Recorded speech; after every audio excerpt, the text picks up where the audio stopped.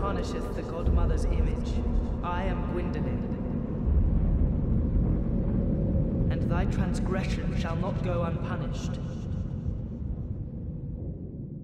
Thou shalt perish in the twilight of Anor Londo.